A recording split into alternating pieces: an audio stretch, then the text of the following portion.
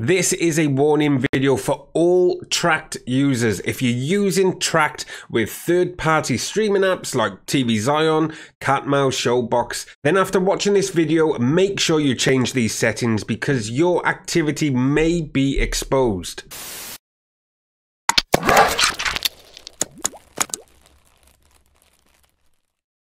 Welcome back to the StreamJoy channel. Hope you guys are well. Now, firstly, if you're new around here, consider subscribing and don't forget to ring that bell icon to never miss a future upload.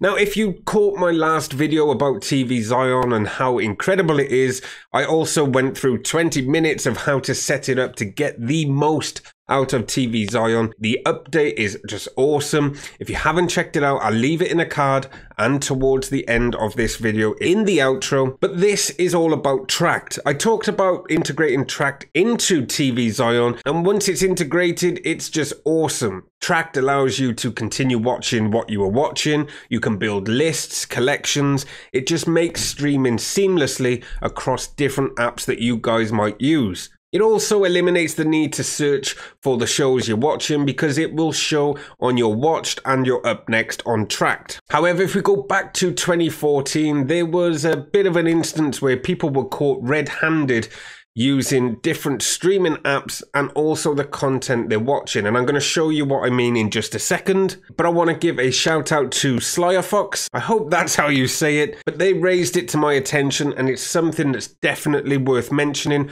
for all Trakt users. Now, there's one thing we need to mention about doing this. When you change this setting on Trakt, you will no longer be able to see all your watch list or collections on apps like TV Zion. So that is the only downside. So if you want to make it secure, you can do that, but bear in mind the apps won't be able to sync with your watch lists, which kind of defeats the object of using it. So again, it's completely up to you, but it's something I need to mention. Let's just get in and tell you what I'm talking about. Now on Trakt, you'll see all the trending popular watched films. we pick a random film, uh, let's say Avengers Endgame. Of course, you can add stuff to your list directly from this website, which is nice feature. But if we scroll down, it will show you who is watching it right now. So their profiles are linked to what they are streaming.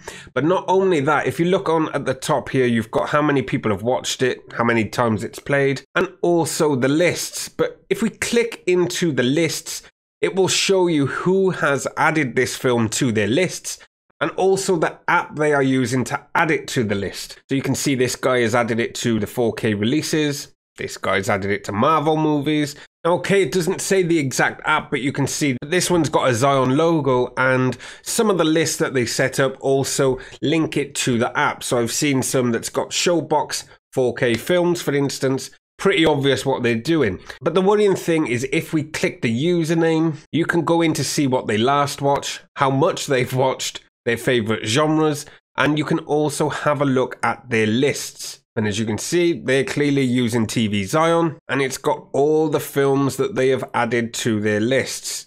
Quite worrying. And the problem with this is if I can go on this website and see what certain people are watching from what apps. I think you know where I'm going. It's going to be easy for other people to do the same. So when it comes to streaming, of course, all the YouTubers always tell you to use a VPN. That's not what this video is about. I want to show you how easy it is to stop people from tracking your activity and looking at your watch list and more importantly what films you have watched at home it's really simple it's one tick box and this is how you do it so on the Trakt website when you guys are logged in what you need to do is head on over to the icon at the top right which is linked to your profile and then head on down to settings now i'm going to grey all this out for you but all you will need to do is tick that private box and that will make your profile private, which means it can't be linked to you and what you are watching. But for this video, that's all we want to do. Scroll down to the bottom and then click save. And then of course, test it's working by signing out of your account and head on over to your profile.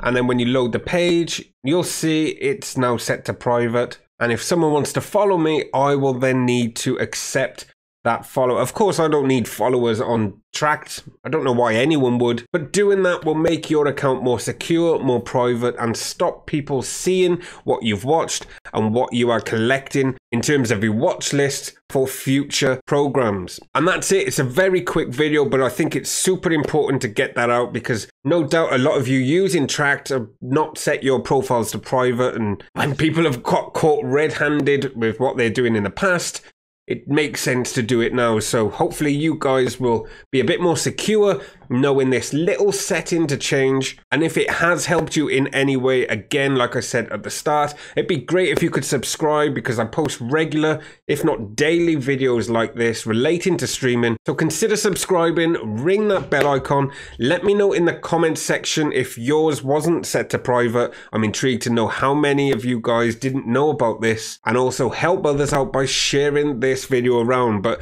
that's all for this one. I'll see you guys in the next one.